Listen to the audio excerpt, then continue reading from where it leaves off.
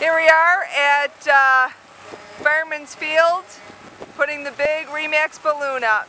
This is so cool. Very, very cool.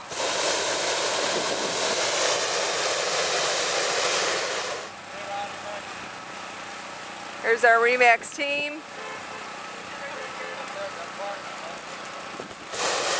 Rick, Megan, Dougie, Ronnie,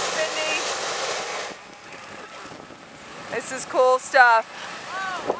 Uh-oh, little windy. There goes the balloon.